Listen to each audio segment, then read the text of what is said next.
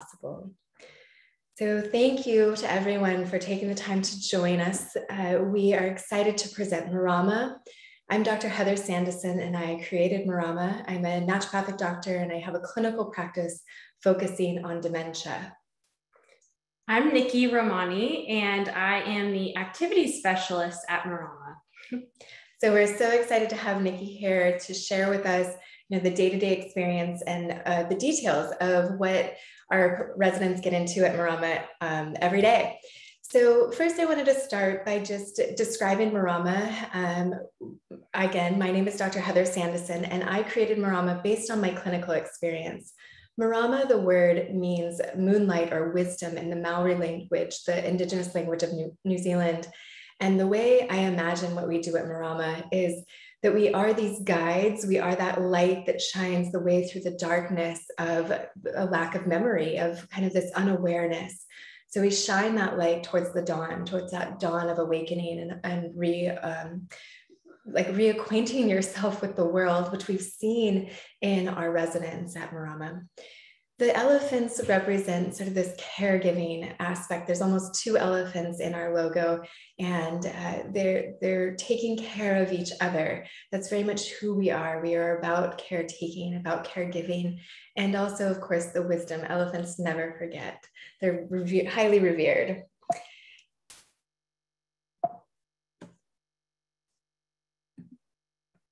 So Part of how I got into this work uh, was certainly through Dr. Bredesen. We offer an immersive experience in Dr. Bredesen's uh, protocol.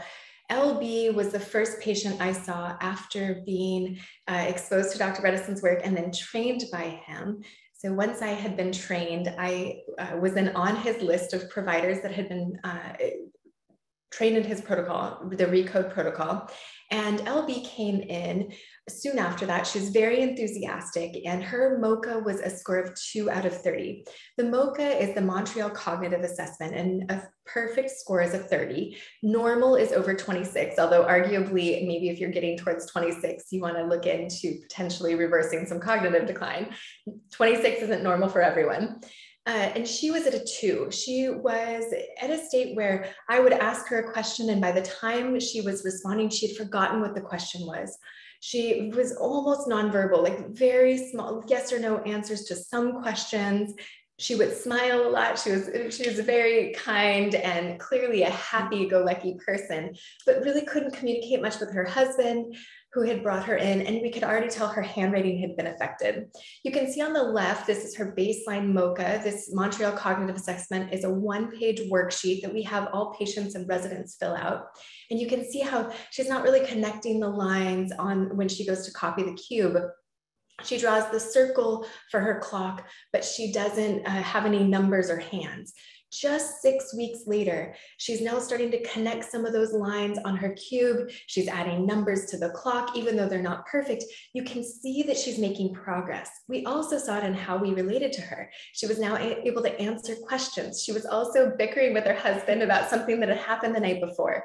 Their relationship had completely transformed. She wasn't going downhill quickly anymore. She was actually reversing her decline in just six weeks when I saw what was possible for her, I couldn't help but think, what is possible for so many other people out there who are suffering unnecessarily with dementia? So, of course, you know, of course, I have dedicated my life since then to changing the narrative around dementia. I know with certainty that we can reverse it in the vast majority of patients.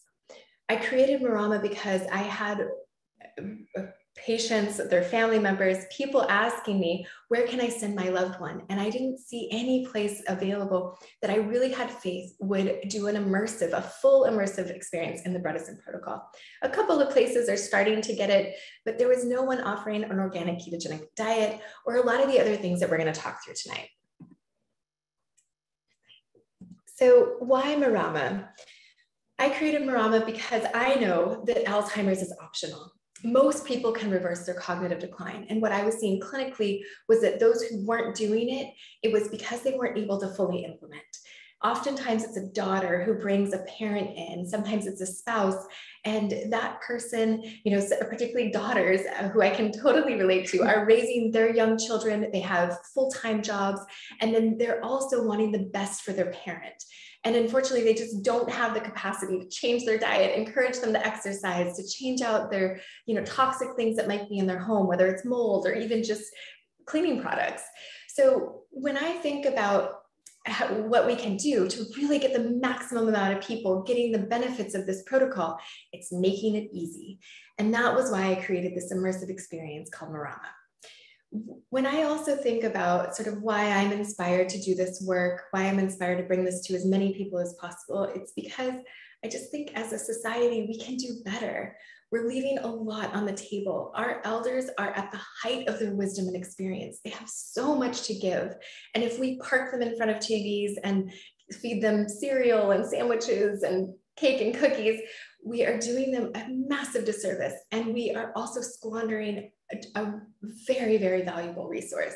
So I'm excited that as Marama grows, as the Bredesen protocol grows, as we change this narrative about what's possible, that we will bring those seniors back into society. They will start to be an asset again. When we think about how we want to be treated, I, I've created Marama because it's the type of place I would be I would be thrilled to send my parents. It's the type of mm-hmm. place that I wouldn't mind living. and when we think about, you know, how we treat our elders, how this reflects what we value as a society, again, I just think that we can do so much more.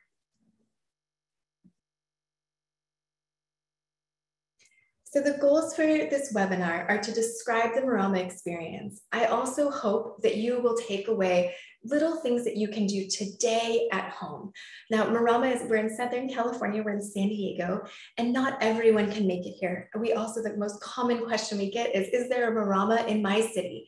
I don't want my mom or dad to move across the country. I want them down the street. I can completely relate and believe me, we're working on it. and yet, you know, there's so many things that are totally accessible to you at home today. So Nikki and I are going to talk through a lot of those pieces. And even if you can't make it to Marama, what we hope is that you can incorporate a lot of these great things at home. So we'll go through the four pillars of the Marama experience, starting with the non-toxic environment, the organo, organic keto flex diet, the brain healing and optimizing activities, as well as the exceptional caregiving that's available. Once we get through that, then we'll move on to question and answer. And I see you guys putting lots of questions in the chat. Thank you. And we will get to as many as possible.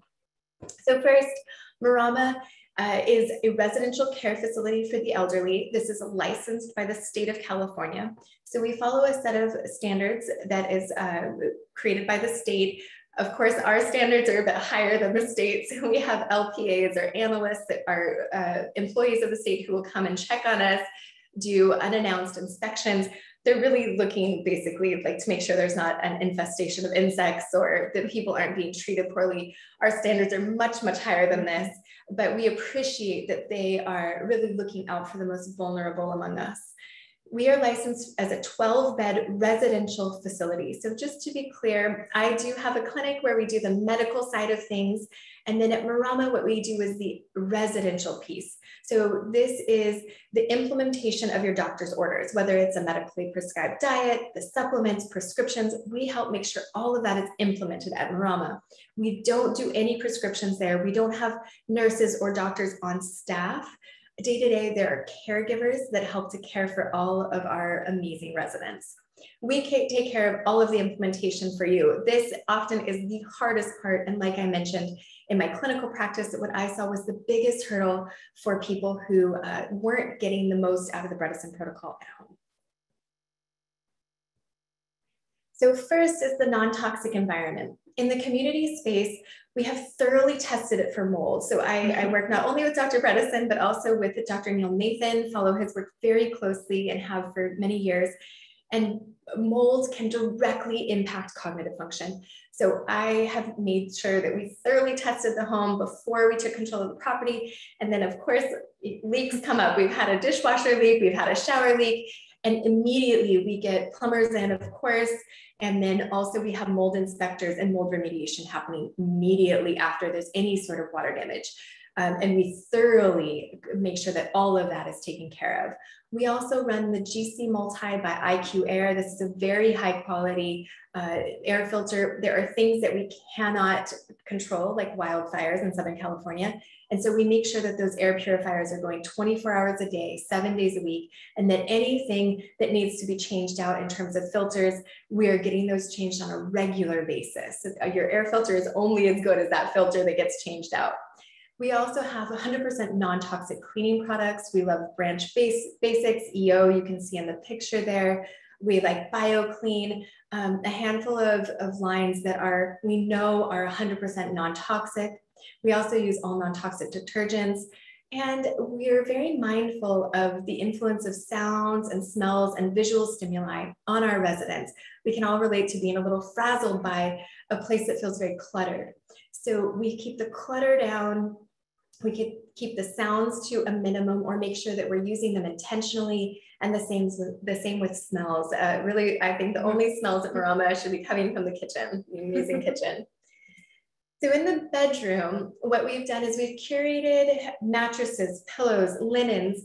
Everything again is non-toxic. So we use avocado green mattresses pillows mattress pads and then we use organic cotton sheets and towels also, everything, including the detergents, are fragrance free. So there's no artificial smells in, in the bedrooms or in the communal space. In addition, when a resident shows up, we offer them a, a welcome bag. It has an organic robe in it. We also have uh, the soaps, hand sanitizers, lotions, toothpaste, shaving cream for the gentlemen. And all of this is because I know how overwhelming it can be to comb through these different products. Which ones are non-toxic? Which ones are fragrance-free? So you want to just take all that worry off of, usually it's, again, the daughter, the, the power of attorney, POA, anybody who's doing the decision-making, we want to make sure they don't have to worry about that. Um, so we welcome everyone with these bags.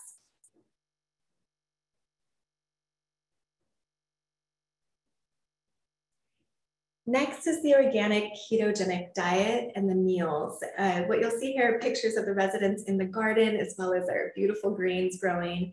So we offer cooking classes. The ultimate goal of Marama is that our residents move in and then they move home independent and they can maintain an independent lifestyle for as long as possible. So the cooking classes really seek to engage and to teach residents how to cook when they can move home. So we have an on-site garden that uh, the residents actively participate in. Another thing that comes up is water. Here in Southern California, unfortunately, the water, we're sort of at the end of the, the end of the river. And so the water isn't ideal. There's lots of pesticides, herbicides, even pharmaceuticals that are end up in the water, lots of contaminants. And so it's, although it's quite a chore, we have staff that go to a, a local spring and fill up glass jugs every week to make sure that we have plenty of drinking and cooking water for everyone that is completely non-toxic. So if you're at home, what I recommend, um, you can usually have this delivered is the Mountain Valley spring water. In your area, you may be able to find another clean water source, but you wanna make sure that it's been third party tested and that you know there aren't contaminants in it. So Nikki, what are some of your favorite meals? What do the what do the residents rave about? They they love all of the meals. So they uh, they talk about never having any food that they don't like, which is a testament to our chef and just having organic fresh food.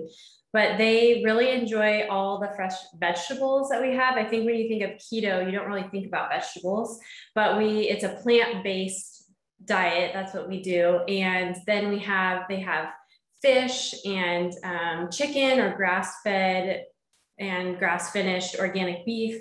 But yeah, they talk about just the freshness and the flavors of all the foods that we eat. So so we do three meals a day, of course, and as Dr. Bredesen recommends, we stop having any food three hours before bedtime. And so our staff is well trained to make sure if somebody's asking for a midnight snack, they offer tea or water or something else that's not going to interfere with digestion at night so they can get really good restful sleep.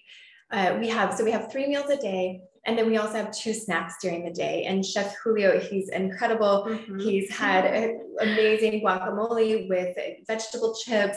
I've seen uh, the organic chicken um, curry chicken salad wraps. There's mm-hmm. some other yummy deviled eggs. Yes, he does a lot of uh, fun snacks. He does these uh, like egg egg bites. He's made some of those. Um, he's done uh, bacon and Brussels sprouts is another snack too uh, yeah. So, and then Lexi, uh, she's our med tech. So she helps everyone with all the medications, but she also makes these uh, phenomenal desserts that are keto. They're she so does. good. And lots of mint, lots of cacao. So it, it gets that sweet craving, but it doesn't raise anyone's blood sugar so that they can be in a, in a state of ketosis. So this is a doctor prescribed diet. So again, we're following the orders that your Bredesen trained doctor gives you when you move into Marama. And we're very conscious, you know, if your doctor is concerned about uh, that you have excess weight and the goal is weight loss, we're keeping track of weight, weight maintenance, weight gain. Some for some doctors, you know, and for some patients, the, the goal is really that they gain weight. And when you're on a Bredesen protocol, you know, because you're working with someone like Nikki, at least at Marama mm-hmm. and at home, I hope you're working with a fitness coach who can help you to build muscle. That's so important for brain and cognitive health. Um, and if you're on some hormones that can help support that as well, you may gain weight on keto. You're going to lose fat, but gain muscle. So what we want is that strength. And we have this is not a low calorie diet. This is a high calorie diet that is the best brain healthy diet. Then other things that we want to consider is, you know, if your if your doctor is concerned about too much animal protein or too little, or if we're concerned about maybe coconut oils and other saturated fats because of an ApoE 4-4 status or even the 3-4 status.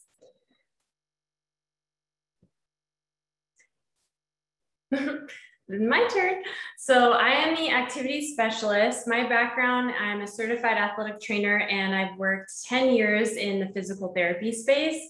I'm also a life coach. So I'm all about encouraging people and making sure that they are seen and heard and just participating in activities. But I think a big part of this is what's one of the pillars is we have the brain healing activities, but we also exercise and move our bodies.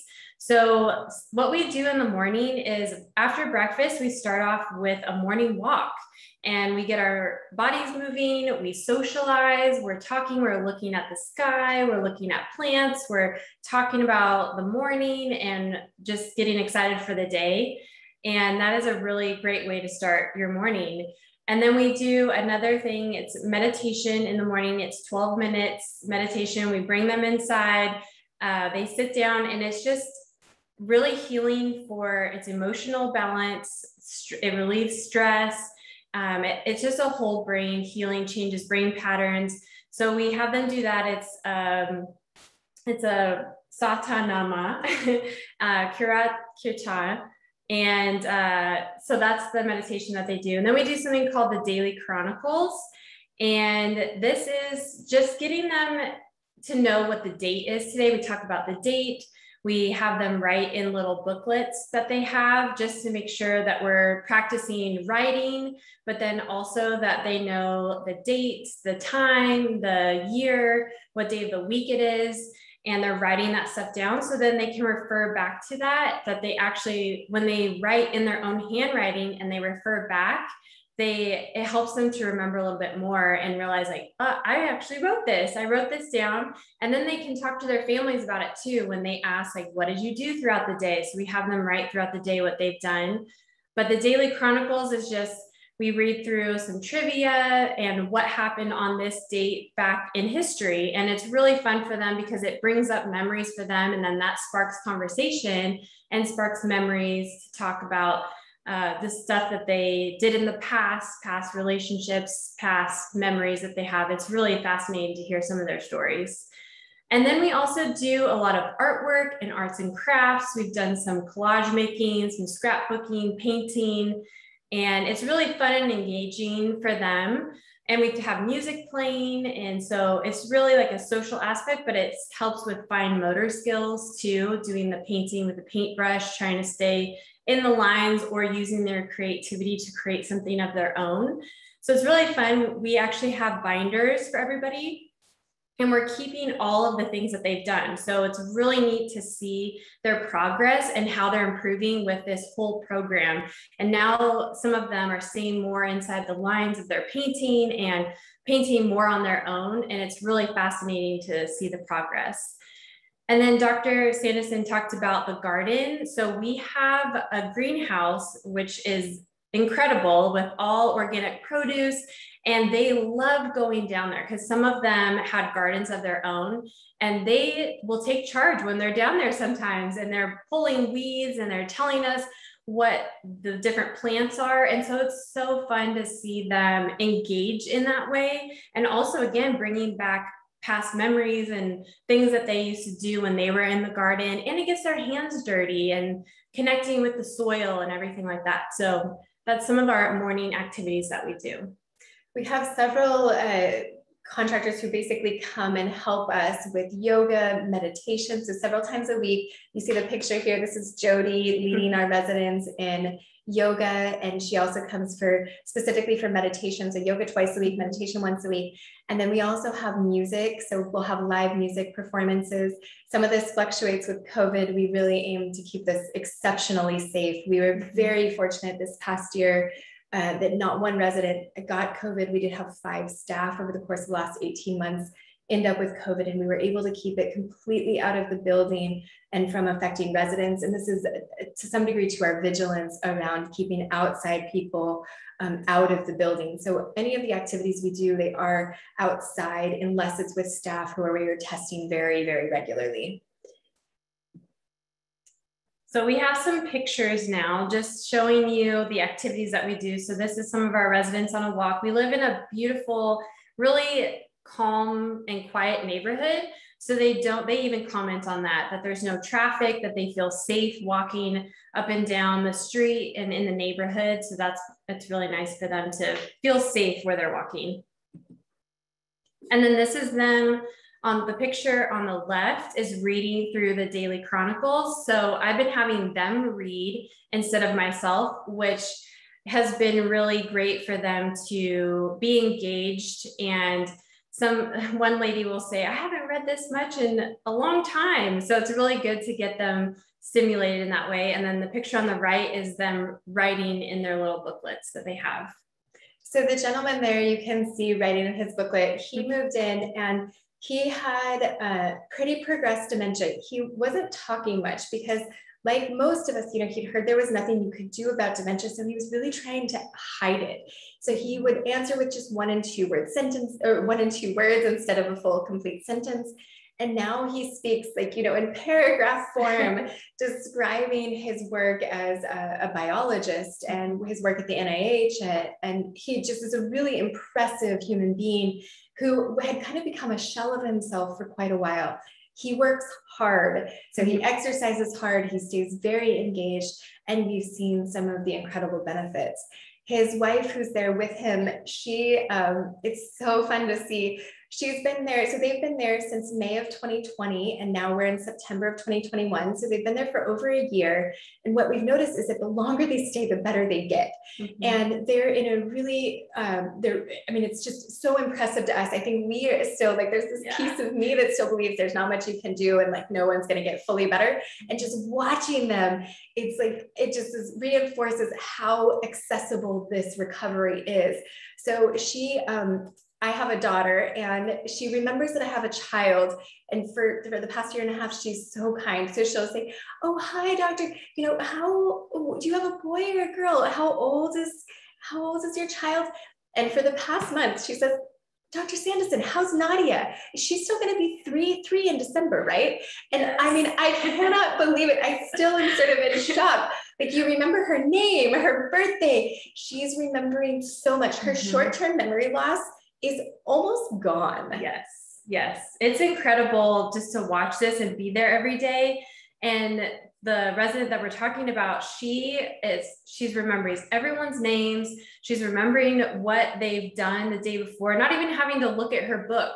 and she'll talk about the things that we did the day before and she is telling the other residents like the staff's names and the other residents names it's just it's really exciting it's really there was a new resident moving in about a month ago and i was sitting with the residents for lunch and I said, Yeah, there's a new resident moving in. And it was taking me a minute to remember his name. There's a lot going on. And I hadn't met him yet. And she said, Oh, yeah and she had his name yes. right there ready. She was the one correcting me. It's just so phenomenal to see where uh, a year and a half ago, I mean, she really had very progressed uh, short term memory loss, and her MoCA was about 12. Um, and so that has improved significantly. And just watching it, it's such a privilege. It's, these, this couple in particular, they moved in in May of 2020. So as the pandemic was really taking off, and they are just pioneers who very graciously put their mm-hmm. faith in us uh, as we were getting Marama started. And so just absolutely phenomenal what we've seen with them and really, really inspiring. Mm-hmm.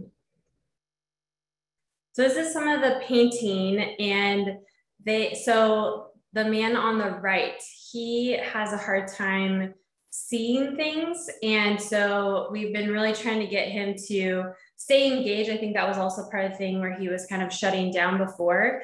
But I think now with being a part of the program, he is really coming alive. It's really cool to see. And he will paint with us and he'll even ask us, like, okay, I want red. Where's the red? And so we'll guide him to the red and then he's just painting on the picture. And it's it's really neat to see, like even looking back at the the paintings that he's done in the past to now, there is a significant difference of him actually being able to see a little bit more of the paper and trying to stay within the lines. When before he would barely try but then he just put a little mark on the page but he's really really trying and it's really awesome to see and then these are some pictures from the garden some of the things that we have harvested so lots of kale and collard greens, different lettuces. We have lots of amazing tomatoes. So they're showcasing all of the harvests that we've gathered from our greenhouse. Oh, yummy herbs. I'm always yes, grabbing a little Those mint. Too. so this is the, we like to call it the casita. So this is where we do all of our exercises and different therapies. And so the first one is the Live O2. So the picture on the left is one of our residents. She's sitting on the bike. She's got the little shaka. She has the oxygen mask on. So what this does, there's a bag that's behind her and that fills up with oxygen. And then there's a switch that's a positive and a negative switch. And so we go back and forth between the switches, but the positive is just a rush of oxygen. The negative what it does is it, it makes you feel like you're in altitude and it it it causes your vessels to vasodilate. So then every because your body's searching for that oxygen it's wanting more. And so when we're in that mode we have a pulse ox that we put on their finger. And so once we get it down to 88% oxygen then we flip the that's one of the percentages we do we'll flip the the switch back to positive. And then it's like they get a rush of this oxygen to their body, to their brain because of that dilation. This is really fun. Uh, Mark Squibb is who invented this machine. And we, um, I actually had some potential residents call in December of 2019 and they were up in Oregon. They weren't going to be able to make it to Marama, but they said, if you could do one thing at home, what would it be? And I said, Live O2. So sure enough, they did it. And a few months later, they had a, the woman was calling for her husband. She was very concerned about him. And both of them had gotten more mental clarity. She had made more progress with her fibromyalgia than she had in years. I mean, it was just astounding. And they were measuring using Brain HQ, they were measuring his cognitive function. So she was giving me percentages of how much he had improved in just three months.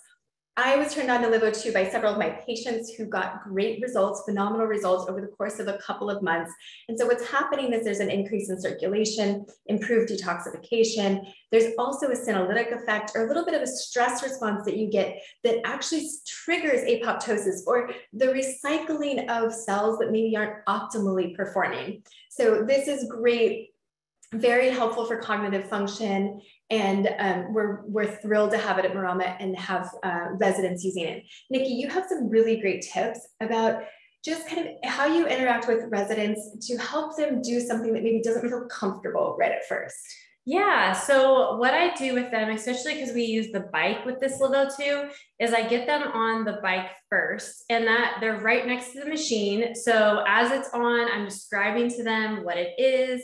And as they're on the bike, I'm describing what the machine is and I show them the mask and I say, this is full of oxygen and the best way to use this device is you put this on your face, we'll put it on your nose and your mouth, and you're gonna breathe in oxygen.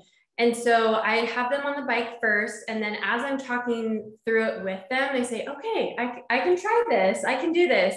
And so then I put, as I'm putting the mask on, I will still talk to them. I will talk them through it and say, this is going over your nose and your mouth. I'm going to strap this behind your head and you will start to, it may be a little bit harder to breathe, but that's okay. And then I say, if you at any point you want it taken off, this isn't something we have to keep on. So I'm like constantly talking to them and talking them through it. And once they get it on, they realize, oh, this is not that bad. Uh, I can do this for a little bit. And then we, I start them on the bike with the LiveO2 we try to do 20 minutes like that's the goal but i don't start them there. So we'll start with maybe five ten minutes and then we'll continue on from there the more and more that they get used to it.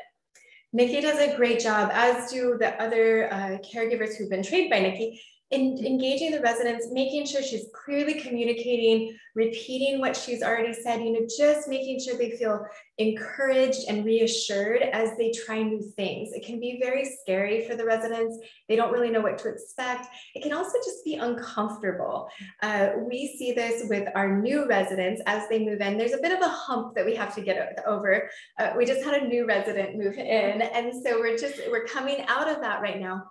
At Marama, we just have one resident move in at a time. We never have more than one, um, unless they're a couple, because it really does take extra work on the caregiver's part, but also it can kind of bring down the, the feeling in, in the community. So we need, the other residents are so great. Doc, uh, Dr. G, who I was talking about, who worked um, as a biologist, he he recently said to me, he's like, we need to have a preamble, is what he called it. It was great. He wanted to basically write a little synopsis saying, just stick with it, just get through it. Don't question everything, don't criticize everything, just get through that hard part because at the other end, there's clarity and, and better mood, more energy, better sleep. All of these things are kind of up and over that hump. So I really encourage all of you caregivers, thank you at home for the hard work that you are doing because we know that this process isn't always comfortable.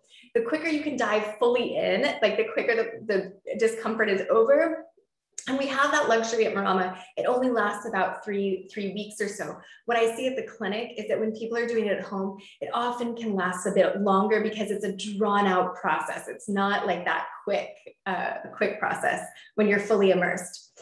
So sorry, that was a, a little deviation, um, but please explain the Vielight. Yes. So the Vielight, we have one of our residents on the right in the picture. She has that on her head. So there's little infrared lights on there and it penetrates through the skull. There's also a nasal clip and there, there's a light in there too that will go up the nasal canal to the brain. And what this does is it stimulates mitochondria to create ATP, which is energy for your whole body, for your brain. And I know there's lots of studies on that. If you want to explain that. Yeah, there's a Dr. Michael Hamblin, who's out of Harvard, who Harvard, who has published extensively on the benefits of red light therapy. There's also literature out of Russia. Um, and more and more people are adopting this red light therapy. It's very safe and seems to be very effective. Uh, so we are using it with our more severe residents. So when we when they have more severe disease, the lower MoCA scores, we tend to see quicker benefit, like in the space of 20 minutes. With our residents, like uh, Mrs. G here, she, you know, we don't notice things day to day, but over the course of time, we're seeing dramatic benefits. And so we certainly think, based on the literature, that the, the red light therapies, including the Vielight and the Joovv light that we have at Marama, are contributing to that through this mitochondrial mechanism that Nikki was describing. Yeah, and we also have the Joovv Light, like she just mentioned, and that helps with collagen production, reduces stress and anxiety, helps to promote better sleep, and it decreases inflammation. So there's a lot of great benefits, and I know a lot of more people are tapping into the red light. And we also have a sauna, which is infrared light as well in um, inside the sauna, but that is really great for detoxification. So we really want to get them to sweat and sweat out all the toxins and then take a cold shower after. This, of course, is if it's recommended by your doctor. This isn't safe for everyone. Not all of these devices are safe for everybody. Even exercise, our most recent resident, he went through a bit of a cardiac workup and his doctor had asked that he not exercise for the first couple weeks while we were waiting on some uh, data to come back. And so, you know, we want everything to be approved by everyone's doctor. We're obviously very committed to safety here, but these are things that are available. And people like Nikki and our other caregivers are very well versed in helping um, people to get the maximum benefit out of it in a very safe way. So you can see one of our residents there on the right is getting the benefits of that red light therapy. We have them wear little goggles so that it doesn't damage their eyes and then spend about 20, 30 minutes in front of that, that red light. The last thing is the biomat, which is the picture on the right, and that's amethyst crystals, and it really helps with reducing anxiety and releasing tense mus muscles. And for example, with this, we've had some residents have one resident has scoliosis. And so when we get her to lay on the biomat, we've noticed that immediately after she's a little bit straighter. So I think with the crystals and just that releasing the tension in the muscles, it really helps to calm them, to soothe them. Um, and then we also have uh, a lot of exercises because I have a physical therapy background and working with athletes and athletic training. I want I'm incorporating strength training and resistance training. We have little free weights and resistance bands and they do, for example, sit to stand, which is super easy. All you need is a chair, and they really enjoy it. And it's a lot of fun. It's also phenomenal the health benefits, right? We all know that movement is so important for circulation, for cognitive function. Basically, if you could bottle exercise, we would uh, have no more chronic diseases on the planet. So one of the unfortunate things about the typical senior living facility is that they discourage exercise because people are labeled a fall risk. So Gigi, who you were yes. just referring to, she had come from another facility and she had fallen several times. And so her daughter was really excited to have her move into Marama and work with someone like Nikki and be encouraged to exercise. So uh, as she struggled with scoliosis when she was younger and um, still has the repercussions of that. When she first moved in, she, you know, she's always balancing on the walls. She has a cane. She also, you know, she just stooped and wasn't mm-hmm. straight. And now she walks with so much more confidence, so much more upright. Over the course of several weeks, uh, Nikki really transformed her physically and encouraged her. You know, she could sometimes not want to engage, not want to participate. And uh, the staff um, with Nikki kind of at the lead of that really gets people to participate, to show up, to give it their best. And then we see the results. It's really exciting. Yes, it is. So caregivers are uh, at Marama 24 hours a day, seven days a week. So uh, there's always someone in the building who can help.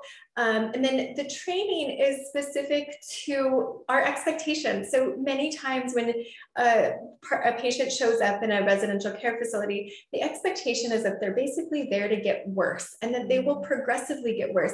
The story that we've heard over and over again is that my loved one moved into an assisted living facility and they immediately went downhill. Their cognitive function, their health, their movement, their heart disease, all of these things. And part of that is the diet. It's not a healthy diet at typical facilities. The average amount that is spent per day on resident meals in the state of California is $7 in an entire day on food. Mm. We spend about $10 per meal per resident. And that's because we are committed to getting an organic ketogenic diet with very, very high quality foods. When there's king salmon in, in season, I am all over it. Everyone's eating that at least twice a week. So the expectation that people get better when they move in you know, people often rise to that. So if the expectation is that somebody's going to get worse, they will often, uh, you know, succumb to that. And because our res- our residents and our staff all expect to get better, they do. I think that's a big part of it. The other uh, benefit that we have is that we're not family, right? So we're not taking anything personally. We're not connecting her not remembering to something that happened 20 years ago. You know, it's mm-hmm. really one of those things. Of course, we all have dynamics in our families. And when, when the resident is separate from that, it's kind of fun to watch just what's possible. Um, mm-hmm. and but also we want to inspire you at home Yes. Nikki, you have some really great tips for how to engage, how to redirect, and how to encourage people. Yeah. So, something that I do is whenever a resident walks into the room, I say, I'm so excited you're here. I'm so happy to, to have you here. I'm so happy to see you. We all want you to, to be here. And we have a resident in particular, she would say, Thank you for saying that. That means so much to me. And even if they're trying to leave and we want them to participate, I'm like, where are you going? We're going to miss you. We don't want you to leave. And oftentimes they will turn back around and be like, oh, I'm going to be missed. I'm going to stay here. So just really having that the making sure they're seen, heard, that they feel included and involved is huge in this demographic. I think in all of us too. yeah. but I think just making sure that they because we want to make sure that they're engaged and participating but the way to do that is with our attitudes. Like if we have an excited positive uplifting attitude and behavior around them that's going to bring their mood up and they will want to stay and want to be around us. It's really fun to watch them engage. So in terms of medications and supplements, we also, I mentioned Lexi, she makes her fabulous desserts. She, uh, she's doing double duty most of the time. um, we're, we're a small community and part of it is that community engagement that everyone knows each other. They treat each other like family and sometimes even better. Um, but also what Lexi's job is, is to make sure that we are following your doctor's orders to a T. Now, some of the residents at Marama have been my patients. And so she understands that thyroid comes comes before breakfast, 30 minutes to 45 minutes before breakfast, before anything else. So though our residents are getting their thyroid medication at the right time in the morning, away from everything else, so that it works best. They're also getting the things with food, with food, things away from food. I, again, I work with Neil Nathan, so there's a lot of binders with mycotoxin detox, other detoxification of heavy metals those need to be away from food really important and so our caregivers know what's away from food, what's with food, what's before bed, what's, you know, all of these things that are quite nuanced and can be really, really challenging to implement at home. Lexi is, she is there full time just to make sure that that happens. She also does a lot of the legwork of getting things refilled, contacting the doctor's office for those refills, contacting the pharmacy to make sure it's going to be there before anybody runs out for all of you caregivers at home, you know how much time and effort this takes. And she is, uh, you know, meticulous about making sure everything is recorded. That's also part of our licensing, is that everything is centrally stored. So sometimes this is a little frustrating for our more independent residents. They want to keep their supplements or keep their medications in their room with the, uh, our license under the state of California, under the law, we need to have everything in a locked cabinet. And this is to just keep everyone safe, that no one's taking the wrong medication at the wrong time or in the wrong amount. So Lexi takes full responsibility. She's phenomenal. She's awesome. She's so great. yes. And she comes in early, she stays late, whatever resident needs to make sure this is happening, particularly when we're onboarding someone, when a new resident is coming in, there's a lot there, uh, as many of you know, it's a lot of supplements, often many medications that need to be managed. And so she takes that on and makes sure everyone is safe.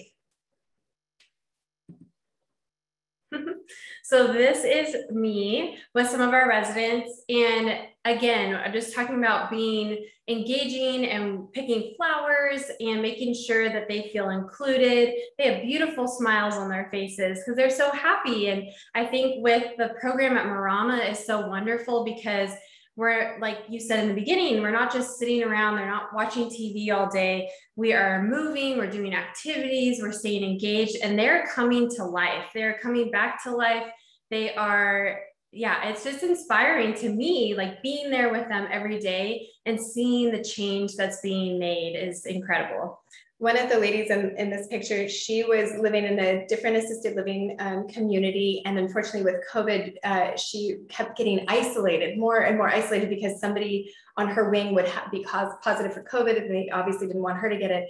She also would complain about the crud. The crud is what she called it every day, all day long. I think I'm dying. I think I'm dying. I have this crud. I'm definitely dying.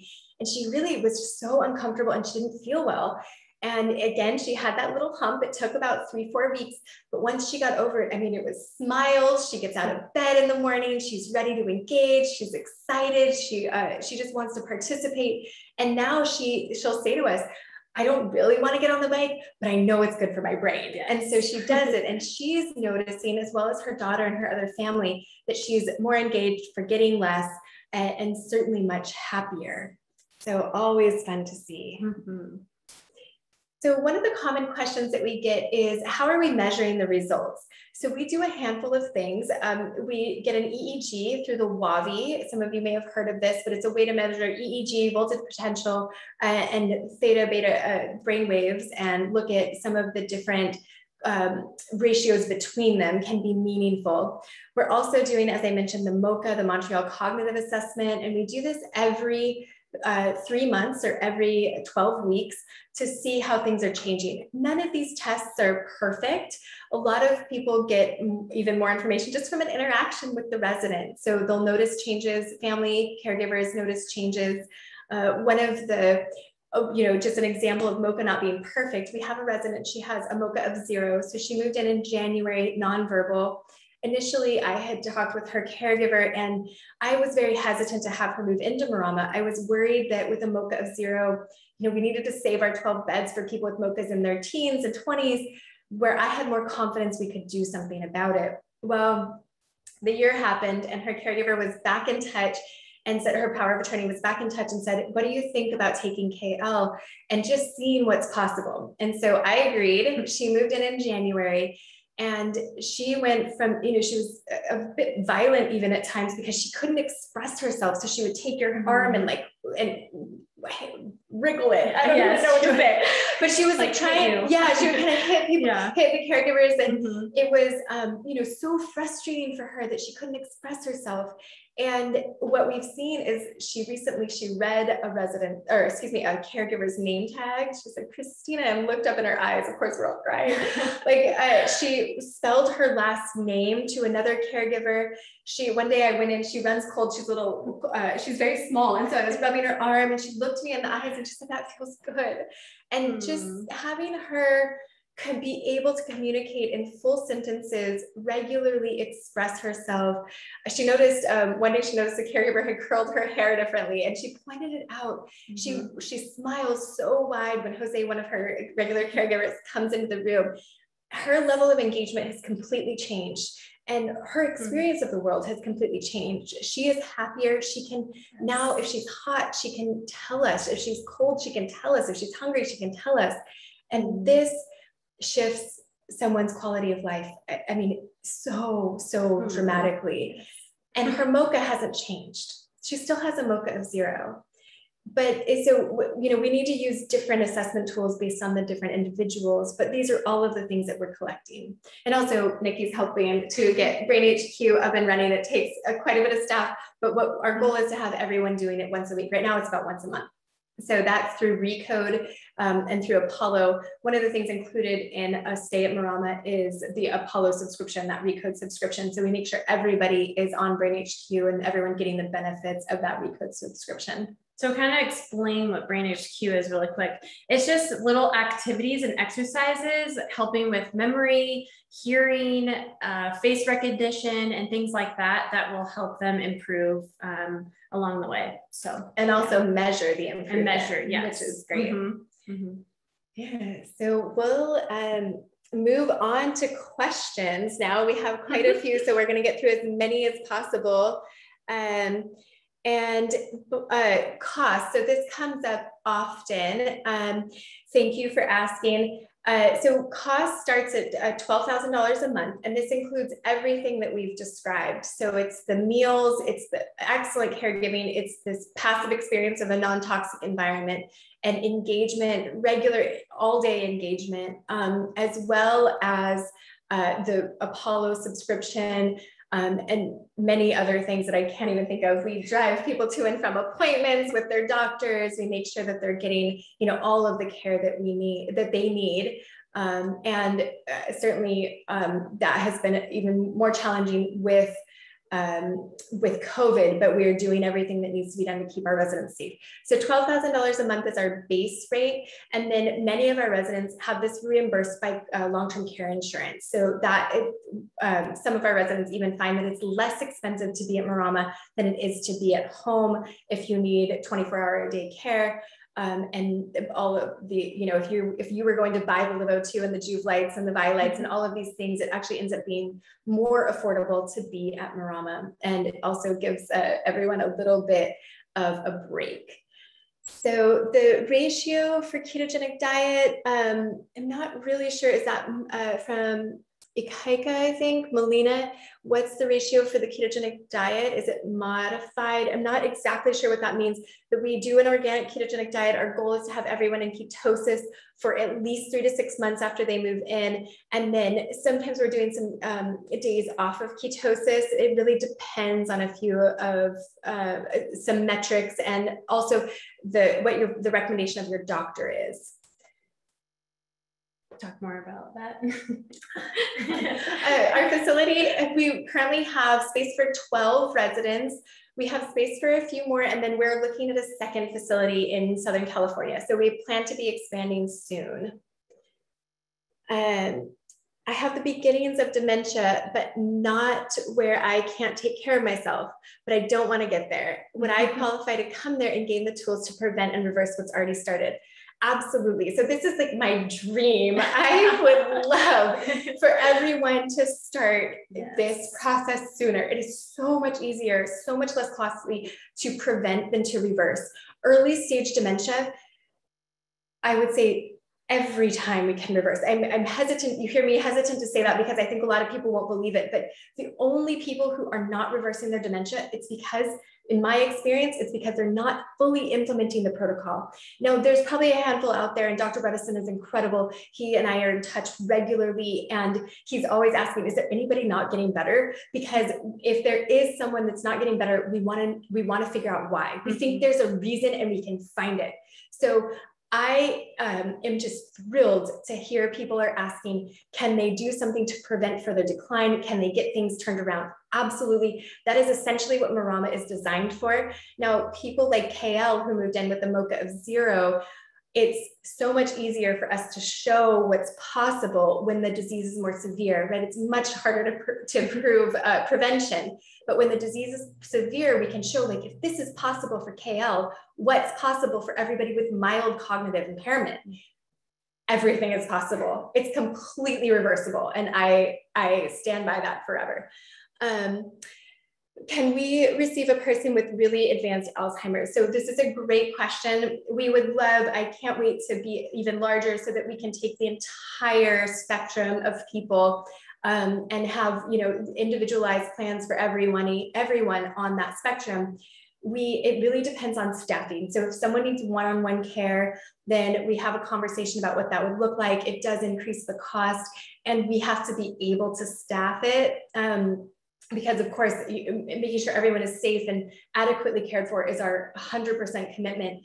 And so it really, there's, we need to have a conversation about what that would look like and make sure it's feasible on all sides. Um, how do you handle patients that have not been able to get off alcohol? You know, this is such a great question. We find kind of when people are in that hump that I was describing, they're often detoxifying from alcohol, from TV, even from sugar, certainly. And so this is a process. It depends on the patient and what they've tried. Of course, this is all very individualized, but there's lots of um, you know of course treatments i think that are more specific to uh, addiction. And so i would recommend that first. We're not a detox facility in that respect. If somebody has an alcohol addiction or even a, a pill addiction a pharmaceutical addiction. So it's very important um, that that's kind of not part of the picture when someone if they have an alcohol addiction uh, we, that would probably exclude them from from marama do you do any functional testing in addition to the therapies? So that's done on the medical side. So personally, yes, in my in my clinical practice, I do all of the functional medicine testing. That is not included in what we do at Marama because it is by definition, it is residential. So there's no doctors on staff, there's no nurses on staff, there are caregivers who are specifically there to implement the lifestyle piece of the Bredesen protocol. For the functional testing, you would want to contact a recode doctor, somebody who's been trained by Dr. Bredesen, and they would handle that for you. The Vielight, how often is the Vielight done? So the Vielight. Yeah, so that is, it's on a 20 minute cycle, and that is done once, twice, three times a day. There's not really a cap, but we do it once or twice a day with our residents. And there's both Vielight alpha and gamma, and uh, these are used, you know, one is more for dementia, one is more for um, for anxiety. And I'm actually forgetting which is which right now. I think it's Hi, sorry. we'll get back to you on that. I'll put it in the show notes. But yeah. one is more for anxiety, one is more for for memory, and um, we can choose the one that's best in that moment. The, so any recommendations for the best red light therapy device device to purchase for the home for dementia and mold toxicity. toxicity. Ooh, sorry, I'm getting excited about this question. So we we do like the Vielight, we like the Joovv. Um, Marv Brenham, he has been on the Evolving Past Alzheimer's podcast. Uh, my friend Nate Bregman is the host of that. I encourage you to check that out. And um, uh, Marv can talk, he does talk through um, his experience. He's also been interviewed by Dr. Bredesen on his Facebook Live. So there's a ton of literature out there. There's also a ton of uh, new companies out there that are trying to get people the best in red light therapy. Our experience is with Vielight and Joovv. Um, so I can't really speak to the others, although we are excited to have multiple facilities so that we can kind of test and see if there's one that's better than others and make sure our residents are getting access to the best on the market. Mm -hmm. So uh, question from Sarah, do residents return home and is there a typical length of stay? Great question, Sarah. Um, residents, the goal is that people return home. Now our KL, our resident who moved in with a MoCA of zero, it's unlikely that she would go back to work or she would go back to independent living. Although Dr. Bredesen has talked about the SARA trial, the uh, it stands for um, attempt at reversal, severe Alzheimer's reversal attempt is the mm-hmm. trial that he wants to do. And certainly KL is, is a um, is an example of someone who is reversing severe Alzheimer's. Now, I don't know that she'll ever get to a MoCA of 30, probably not. My goal and really my, my life's purpose is to change this conversation so that people never get that severe, that we prevent that degree of dementia. And um, when when someone is earlier on, like the, the um, person who asked the question earlier about coming when, when we're more preventing severe Alzheimer's and reversing mild cognitive impairment, then we're looking at six to 12 months. And really, if I don't see in six months some change, I'm wondering what we're missing. I expect by the six month mark, people are reversing their dementia. If they're not, we're missing something. And so that typical length of stay, it really depends on how severe the dementia is when they move in, how much progress we need to make. But a six to 12 month stay is about what I'm what I'm recommending. I wouldn't do any less than six months because it takes a while. The way Dr. Bredesen describes it, it's like a big tanker ship headed west. And first we have to slow it down and then we have to turn it around and then we have to come back in the other direction. That's something that just takes some time. Um, the replay, yes, there will be a replay. You'll get an email about it. Uh, can heart disease um, people do the ketogenic diet? Phenomenal question. Absolutely. The answer is yes. So there's a bit of a misnomer here that adding fats to your diet, and we heard this through the 80s, that was criminal. they basically told us to eat sugar and carbs instead of fats because fats were bad. It's absolutely factually inaccurate. So, the ketogenic diet, what you do is you start burning fat for fuel instead of sugar. Sugar is poisonous to your cardiovascular system. It's also poisonous to the brain. So, getting on a ketogenic diet is probably the best diet for somebody with heart disease as well. Exercise, low sugar diets, um, this really can optimize metabolism. And of course, you want to be talking to your provider. You want to get good advice for you as an individual. Um, but it, just because someone has heart disease, it does not exclude them from benefiting from the ketogenic diet. Um, do people, uh, residents have to be under the care of a Bredesen trained doctor? So my experience of the Bredesen protocol with dementia patients is that the more comprehensive we are in our approach to it, if we can do the lifestyle piece and we can do the medical piece, the more confidence I have in someone's reversal. If we do just pieces, we often see reversal, but not always. And so I, I highly recommend that if someone if, is thinking about moving their loved one into Marama or they themselves are thinking about it, that they have a Bredesen provider on their team. I would hate to wait six months and then find out there's mercury toxicity or mold toxicity that we never tested for or a thyroid imbalance. There's so many things that can be a little off that you know we get the benefit of of optimizing if you're working with a Bredesen trained provider. So I highly encourage that. Oh, it's good to see that you recognize that sugar is a cause of Alzheimer's. Yes, yes, we're on the same page. Thank you. Um, vegan options in the KetoFlex format. So thoughts on a vegan diet for those affected with Alzheimer's. And do you offer vegan options to the KetoFlex format? So at this point, we do not. Um, I understand that different people have different kind of uh, issues kind of come up with um, there's lots of reasons why people opt for a vegan or vegetarian diet environmental ethical you know health lots of them. And i completely understand that. Um, it is very hard to get a satisfying vegan ketogenic diet. And so we don't offer that at this point um, so what do you suggest for people who can't get to california my mom is experiencing mild symptoms that I'd like to stop or reverse. What I recommend is this book yes. right here. the End of Alzheimer's. So get this book. Many, many, many patients come to me um, and residents as well who have gotten the book, who have read Dr. Bredesen's books, who are listening to the podcast, implementing as much as possible at home, and particularly when it's mild, what I recommend is doing that as comprehensively as possible at home. Most people get results. And then when they get stuck, go see a Bredesen doctor. If you're really stuck, move into Marama. yeah. Uh, Dr. Bredesen has said that a vegan diet is an okay option. Are, are these residents in ketosis part of each day or not at all? So residents are in ketosis almost every day, all day. And the vegan option, so as I've understood from Dr. Bredesen um, that it's really important to get into ketosis. So if you can be vegan and get into ketosis, that's great. Everyone's a little bit different. Their metabolism is a little bit different. So not everyone can get into ketosis, get enough nutrients and be vegan. That uh, those, the Venn diagram doesn't always overlap there. So we have to sort of assess for each person. Um, and right now we're not offering a, a vegan diet what brand of sauna. So we have, uh, I, I love the HigherDOSE sauna personally at home. That's what I use. It's a sauna blanket. I don't think, we don't even have one around we yet. Mm-mm. We have, um, the, I think it's called Duherm, D-U-H-E-R-M. It's a copper one, low VOC, low EMF saunas um, that typically have the head out is what's best tolerated. So we want to get people sweating.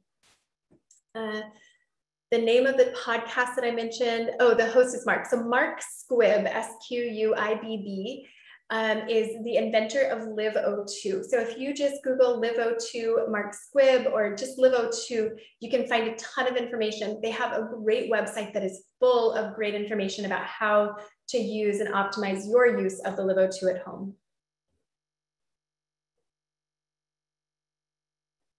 If a person has no blood sugar or insulin resistant component to their Alzheimer's, but rather toxin or hormonal causes, do they still need a ketogenic diet all the time? Really good question. So what we found, and there's more and more literature coming out, uh, it's been fun and I guess lucky that we thought a ketogenic diet was helpful, but the studies hadn't been done recently. And so we, we established things. I, I developed a study protocol in my office that uh, has a ketogenic diet as part of the foundation of that. And then at Marama, we're committed to a ketogenic diet. What I had seen clinically was that my patients needed to get into ketosis to improve, and that the ketogenic diet is really the best diet for the brain. The brain wants to use ketones for fuel. And so um, we do use the ketogenic diet for everyone. And what we're seeing in the literature is that people get better regardless of the cause, that they really, the brain appreciates ketones. So we do this all the time. What part does sleep play in all of this? Great question. So the house is quiet. We encourage sleep. We're not having patient or residents eat right before sleep so that they get optimal sleep. Of course, they are working with a doctor, and if it's uh, appropriate, they get referred to sleep medicine. Um, we do everything we can to optimize sleep at Marama, keeping the house quiet, mm-hmm. making, you know, there's not activities going on all night. Mm-hmm. Uh, and we just encourage people to get the best sleep possible. But that's really on the medical side if there is a pathology there, like a obstructive sleep apnea or anything else that is interfering with good high quality sleep.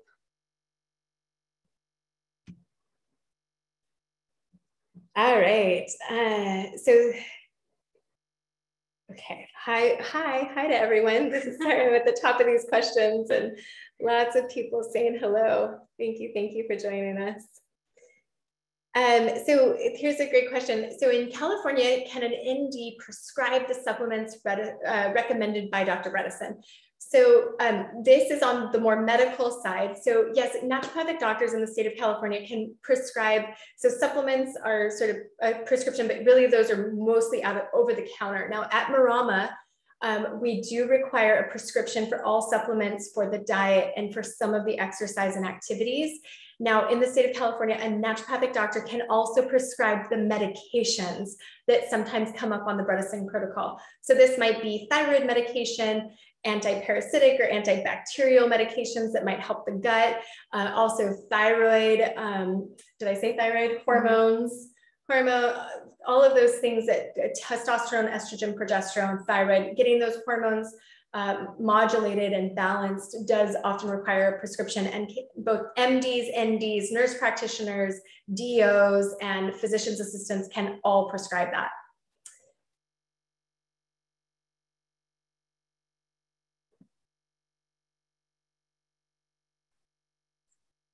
So mold testing, this is a really great question. What type of mold testing? What I typically recommend is uh, immunolytics, and they have plates. Um, so they're petri dishes that you can put out, and you can chat with someone at Immunolytics about how to do that, excuse me. And what you want to do is take the top off, put it out in your home for an hour or two, one in each room, including the attic, the garage, everywhere, and then see if something grows. If something does grow over the span of about five days, then you send it off to Immunolytics.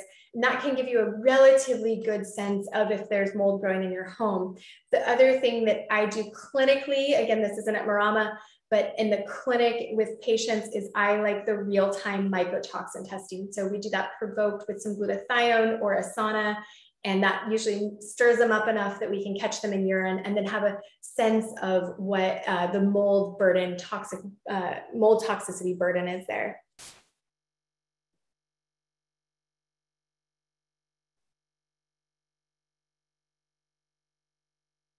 Some really great questions. okay, looks like we're um, So lots of questions about implementing the protocol at home. So again, definitely going back to Dr. Bredesen's work, his book, and then finding a recode provider and particularly a health coach in your area can be just absolutely uh, phenomenal. So, so helpful in getting that extra like that extra bit of information that you didn't realize you were missing that's keeping you from getting the full benefit of the protocol. So the health coaches are phenomenal. There's a bunch of them have, that have been trained. Dr. Bredesen has trained over 2,000 practitioners around the world. So uh, reach out to the one closest to you um, there's really, we're working with several of them in the clinic um, as health coaches to help with our study. And they're just, just wonderful, committed, excellent human beings who are so well trained, so thoughtful, and, um, and really well informed about the subject. So getting them on your team early is something I highly recommend.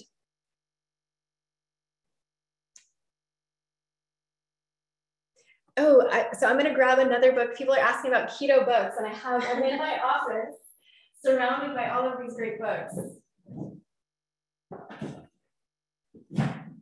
So this is my favorite keto book. It's the Alzheimer's Antidote by um, Amy Berger. And if you uh, came to the summit, if you were able to make it to the summit, I interviewed Amy on the summit, and she talks a lot about keto um, and also a ton about what you can do to make keto simple. So she doesn't want it to be so overly complicated that you're not able to implement, right? The most important part of this is actually doing it. So this is a phenomenal resource. Again, it's called The Alzheimer's Antidote by Amy Berger.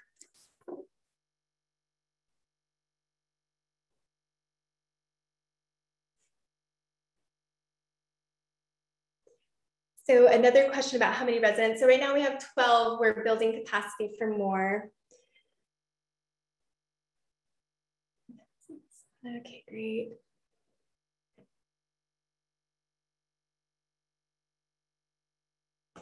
So this is from Kimberly. Thank you. Bless you and your team, Dr. Sandison. Thank you, Kimberly. As an RN, I was trained that Alzheimer's was a prolonged death sentence. Thank goodness that's no longer true. Your treatment and costs are prohibitive. Can the caregiver extend the testing and visit frequency to prolong the length of time to pay the estimated $25,000?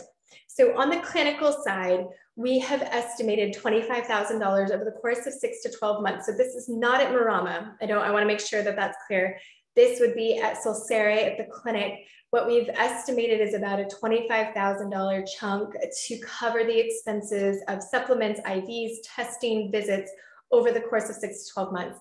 So can you extend the testing and visit frequency? You can. Um, our experience is that hitting it hard and fast and as aggressively and comprehensively as possible is what gets us the best results. But of course, everyone has to do what they can. There are lots of pieces here that are absolutely free. The foundations are sleep, stress management, good, a great diet, and exercise. Those things are free. So do what you can at home. Do, I, I mean, all of these things, it doesn't work unless you do it. And I can't tell you how many people I've had spending the money to come and see me and getting the supplements, and then they don't take them or they don't do the mm-hmm. exercise or they don't prioritize sleep and confidence you know goes out the window really at that point so if if cost is an issue get dr bredesen's book read it so it's you know $25 mm-hmm. and and do everything that he suggests in the book that you possibly can with the amount that you have i can speak to that a little bit i think being in this environment and learning more about how to reverse cognitive decline. I've looked at my own life and I'm looking at the cleaning products I have in my home, my diet, making sure I exercise so that I can prevent having cognitive decline in the future as well. So I feel like this is for everybody. Yeah. Yeah, I think everyone can benefit from changing their diet, from getting on a ketogenic diet. Maybe not forever, but just temporarily to see how it feels. We, the most common response we get from someone is there's increased energy, better sleep, some weight loss, and improved cognitive function, mental clarity. So, and also reduction in bloating. You know, a lot mm-hmm. of people get great benefits.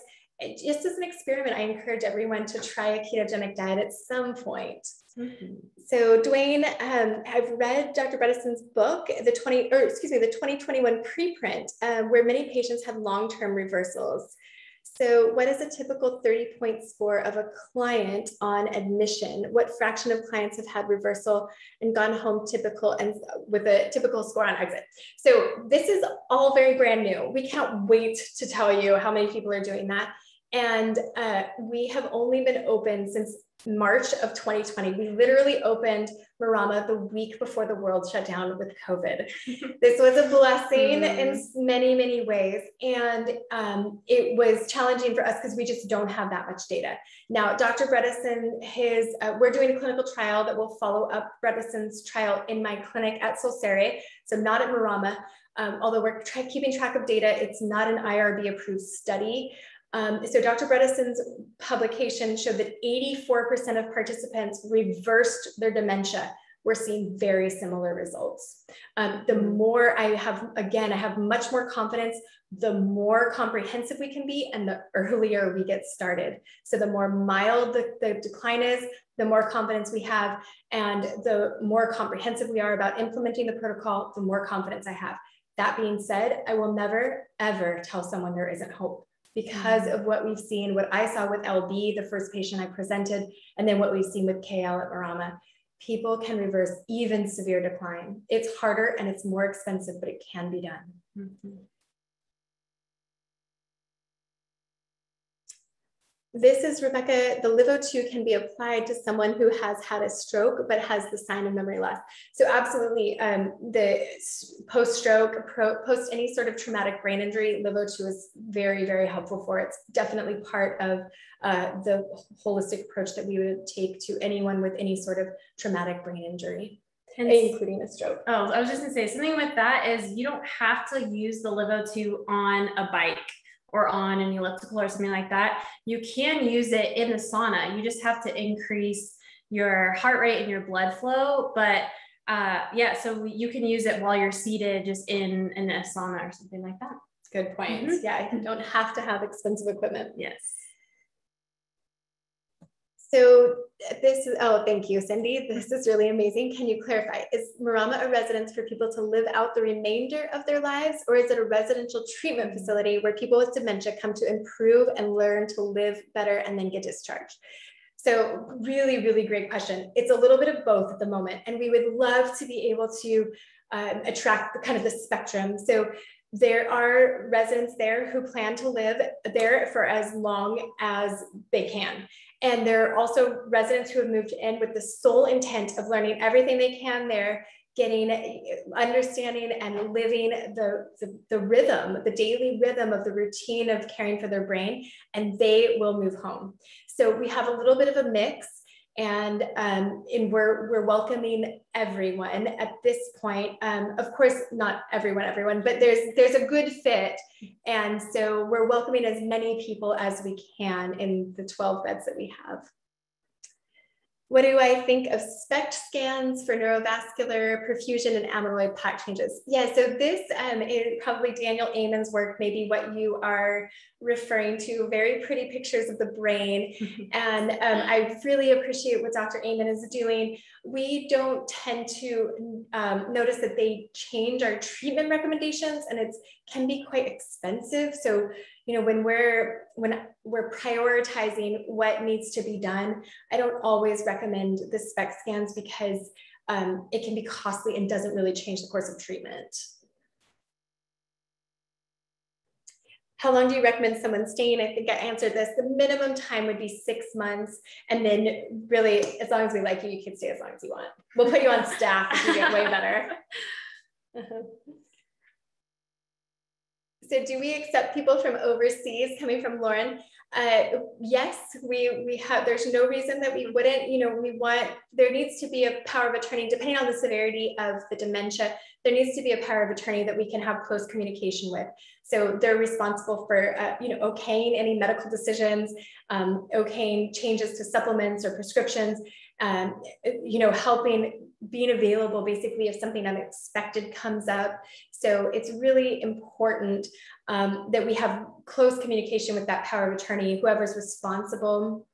And but there's no reason why it couldn't be someone overseas. You might get phone calls from us in the middle of the night. You can't you can't uh, decline them. How long does it take for someone with mild cognitive decline to improve? So what we have seen clinically in at Marama is within six months, people are improving. If they're not, we're missing something and then we go looking for it. Yeah. Oh, sure. um, this one. Yeah. For those who can't, yeah, for those who cannot come to stay there to stay, can you guide them to similar protocols at home? So yeah, we talked about this book, uh, Dr. Dale Bredesen's book, The End of Alzheimer's. I'm actually reading this book myself. It's very fascinating. Uh, really gives, he has a couple books. There's The End of Alzheimer's program. And that really lays out what it looks like to go through a program like this. It goes through the diet, there it is. So it goes through the diet and different testings that you can do. So there's a lot. So I would recommend, like she said before, Dr. Sandison said before, but to get this book and to implement it in your own life. And like I said, I'm trying to implement things like that, like this in my own life as well. Like I'm on the ketogenic diet right now and I feel great. I have like mental clarity, I have more energy, less bloated. It's really awesome. I think it's something that everybody should try. But this is definitely something I would recommend is getting this book, um, one of his books, and just reading through it and and soaking up the program and then implementing it at home. Alternatively, if you are a, any sort of healthcare provider, even a health coach, um, you can take Bredesen's, Dr. Bredesen's Recode course, and that goes deeply dives into a lot of what we're discussing, the details. It's designed for practitioners, so for doctors. So it's very detailed, um, very in depth, and would give you a lot of the tools and resources or working with at least a health coach who can help you to implement some of these things there's very common issues that come come up you know it's resistance or nausea i mean the, the gamut of things come up and so having someone that can cheer you on and help troubleshoot is really like so valuable so so valuable so question, do we help with residents' personal hygiene? So yes, absolutely. Um, the, we do help with, you know, making sure that everyone's brushing their teeth, taking regular showers. We have both male and female caregivers so that if someone needs, you know, they're modest and they need help with a shower or dressing or shaving or anything like that, they um, they have their modesty is is you know respected and they can get someone with the same sex to help them. Mm-hmm. Um,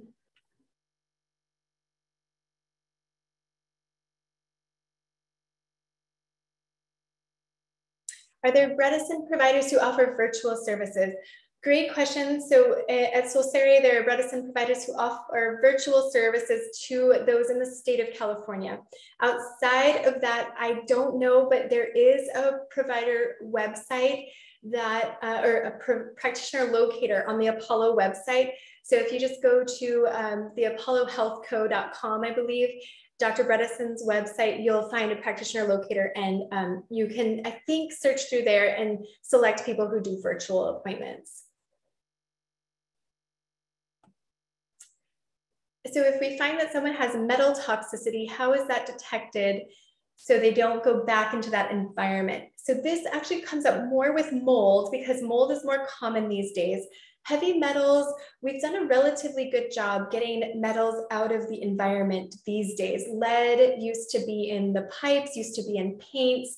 Um, it used to be in fuel and that's, you know, it's been taken out of those products. So there's less lead exposure these days. Mercury typically comes from dietary sources like fish in particular, and it can also come from amalgams in the mouth. So identifying those exposures is important. And, um, and then that typically isn't in the home though. Molds is the more common thing that might be in the home. And they're working with a Bredesen trained provider, they can help you kind of troubleshoot how to find that. Typical ketone numbers and how to measure those. We recommend at this point using the Keto Mojo, which is a blood finger prick test. Uh, we don't do this at Marama. So again, Marama is a residential care uh, facility. And so it's non-medical. And so we don't do regular ketone checks at Marama for our residents because we don't have medical providers on staff. What we do do is whenever they are getting their testing done, we check for ketones in their urine and in their blood. And uh, every time they're in ketosis. Um, do you find that the keto diet increases cholesterol and do you need to reduce it even though that's an old myth? Yeah, great question, easy. Um, so typically people's cholesterol numbers come down over about three to six months. It takes a little while for that to happen, but if you have high cholesterol, triglycerides in particular come from a high sugar diet. And then as you start to move in, as your metabolism, as your metabolism switches from burning sugar for fuel to burning fat for fuel, uh, you actually reduce your cholesterol levels. Um, and if you're having really good high quality fats, olive oil, for some people, coconut oil, um, the avocados, all of the sesame oil, lots and lots mm-hmm. of good high quality oils. Um, these are fine for um, people with high cholesterol. Even eggs and some grass fed animal protein is fine. So Julie, do you use racetam, citicoline, alpha GPA for patients and recommend them? So yeah, um, I recommend actually the Qualia Mind product, which has all of these things in it uh, for my patients. Uh, Dr. Bredesen also has a recode line of supplements that you can look at. And um, those are, those typically we try to use something that combines um, them. From San, Sandra, uh, do residents at Marama get visits from family and friends? Yes, they do. We love yes. having them for a meal. We love feeding family and mm-hmm. friends and having them come typically outside after they've been tested for COVID that week so that we um, really are again vigilant about keeping COVID out of the building. What we did during the height of COVID is that we had a room that was dedicated for our residents to be in, and then we had the window um, and we had their friends and family visit from outside the window. So it's of course like heartbreaking to get through that, mm-hmm. um, but we're hopefully on the other end or starting to be on the other end of that. And be able to uh, let our guard down a little bit around that and have more family and more friends coming. Yeah, and they get really excited to show off their daughter or son or family or friends. It's very cute. so, do you have similar results with other types of cognitive decline and dementia, such as Lewy body or other Parkinson's?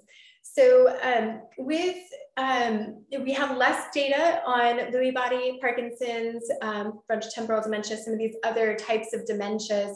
What happens often with Lewy body is that there are some significant, um, there are significant changes in personality and sometimes tendencies uh, towards more violent behavior. And because the environment that we're creating is very much community based, and we want people really engaged um, with each other and really loving on each other and encouraging each other. Having someone that uh, it has, as is typical of Lewy body, where there's um, more violent tendencies, it's just not quite the right fit for us at Marama right now. We look forward to a time when we have the space and the staff and you know this this idea of treating people in a way where we assume they can get better i'm sure that somebody with lewy body can get better we've seen um, we've seen lewy body dementia stop progressing after six months but not reverse yet in my mm-hmm. clinical practice so probably other things that we need to find out um, one thing that we know is that often Alzheimer's, you know, we see beta amyloid plaques are kind of what defines that and tau proteins. There's often some Lewy body also present, and in Lewy body, there's often beta amyloid plaques present. So really what we're doing, whether it's Parkinson's or Lewy body, whatever we call it, we what, what I'm more interested in is why it got there, right? Why did this neurodegenerative process start? The etiology is so much more interesting to me. And so that's what we're really focused on is identifying why and then turning that around. Um, and I know that that's possible with Lewy body and Parkinson's. It's just a matter of really collecting more data.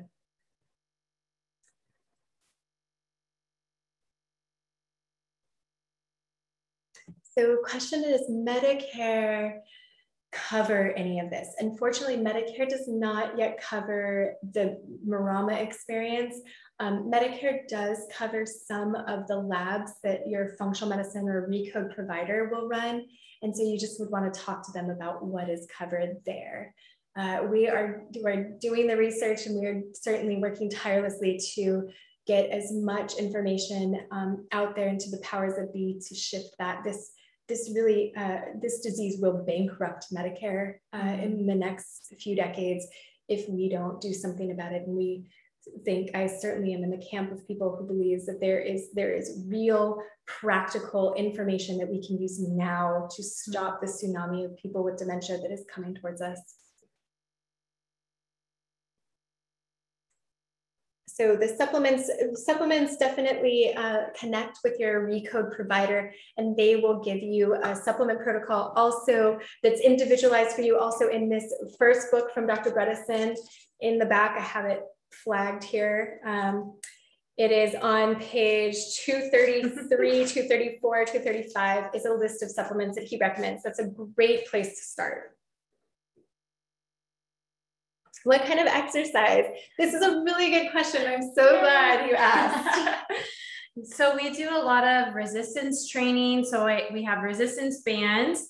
So we do like rows, we do um, like, um, I'm sorry, I'm like losing my train of thought. We do uh, free weights. So we do like, I don't know, just basic weight lifting exercises, strength training. Um, and then we do something like sit to stand, which is more squat based because that's something that is functional because you need to be able to get up and down from a chair, from the toilet. And so just making sure that there's, we have strength in our legs. Um, we do some balancing exercises as well. We do some hip mobility. Uh, we have a row machine, so we're doing some rowing, and they are loving this machine, and they're doing really well as well. So like this is for cardio, but also for strength. And then um, we we do a lot of yeah like stretches, but also strengthening exercises. So and we have resistance bands as well. So I'll use that for um, like hip strength and leg strength and for arms as well. There's a variety of things you can do.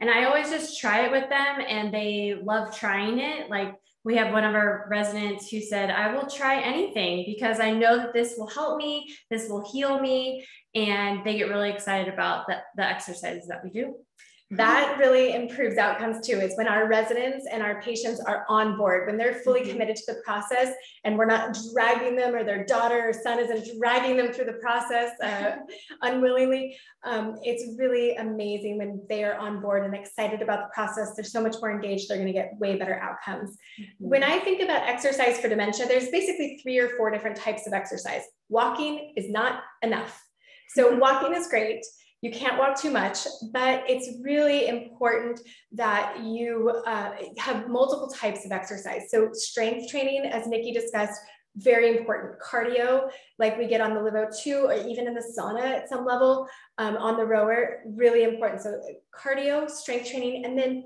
the other two are a little bit overlapped, but essentially what you're doing is you're you're engaging your cognitive function while you're exercising. So this isn't at a sprint. This is at a level of exercise where um, you can still talk, but you want to be engaging your brain. And so some ways to do this are like yoga, Pilates, Tai Chi, Qigong, or you've probably heard that ballroom dancing is a great way to improve cognitive function. What you have to do is be very present and engage your brain in remembering the next step.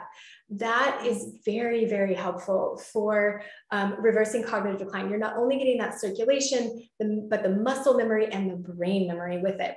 The other thing that there's um, a group created this, oh gosh, um, Genius Gyms is the name of it. It's a, it's a new uh, entrepreneurs out of San Diego. It's a new app where you basically, it engages you to exercise and quiz yourself. So you're getting that cognitive stimulation, like learning a language or doing some math problems like yes. you do with the residents at the same time that you're getting a little bit of exercise. The other thing we have is the rebounder. We didn't talk yes, about that. Yes, we didn't talk about that. That's a great yes. thing to bounce on the rebounder and quiz yourself or, or cognitively challenge yourself at some level. You get exponential benefits in terms of cognitive outcomes. So really fun stuff.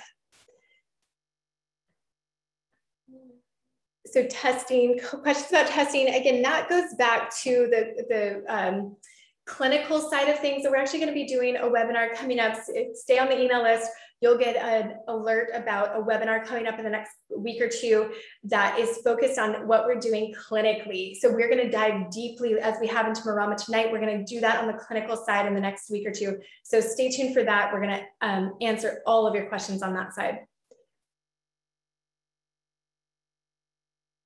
So a great question from Brittany. If the cognitive decline may have been in part or totally from a TBI, would the mm-hmm. protocol still help? Phenomenal question. Yes, the answer is yes. So there are things that we would do more specifically. So LiveO2, phosphatidylcholine, um, phosphatidylserine, NAD plus IVs sometimes uh, B12, omegas, all of these things can be very helpful. And then a functional neurologist, someone like Datis Kharrazian was interviewed on the summit that we did recently. And he goes into this pretty extensively about how you can use functional neurology. A trained chiropractor can help you to create exercises that stimulate um, new brain connections in the area that was, that was traumatized. So yes, absolutely. If there's a TBI that can contribute and we need to address it.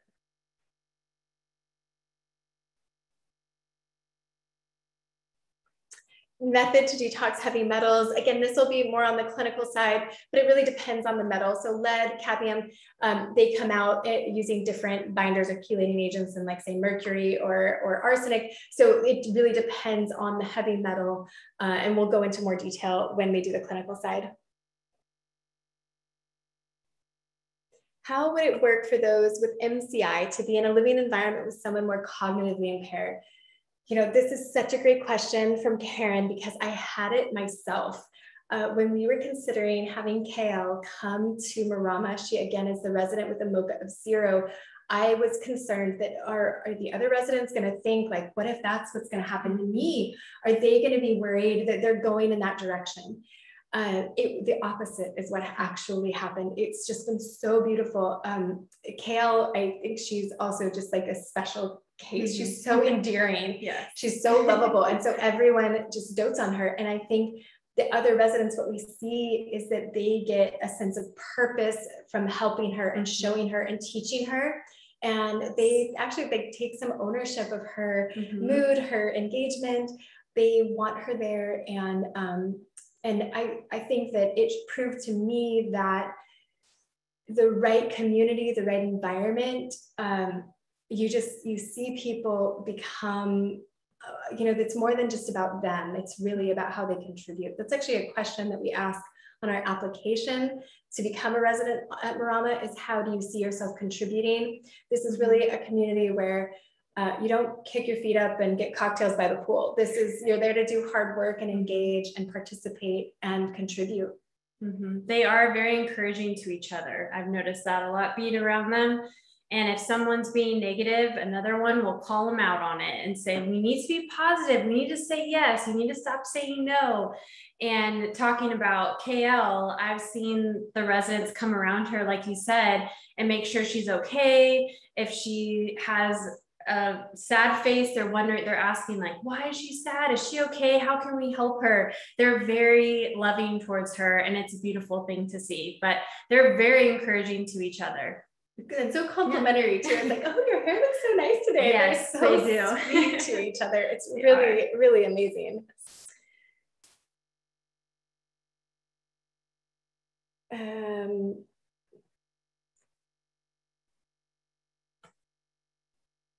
so where can you take the course? The Dr. Bredesen course for practitioners is on the Apollo website. You can see there's a drop down for practitioners. So just go there and um, and you can yeah uh, follow through the steps. I've taken it; it's not that hard. Um, but yeah, if you get there, um, let us know if you have questions. Do I understand that the minimum stay is six months? Yes. do we use MCT oil? Um, yes, we do. And uh, this, again, typically is prescribed as a supplement through your provider, and then we are implementing that at Marama.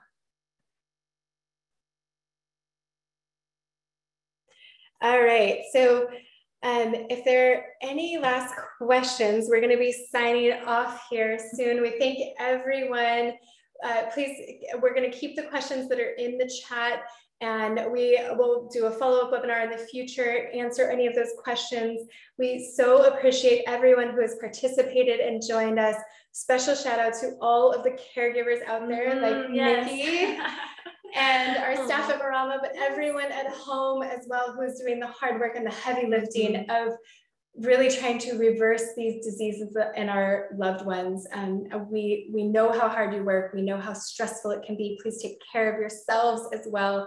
And again, thank you, thank you, thank you for the work that you do and for showing up here tonight. Yes, thank you.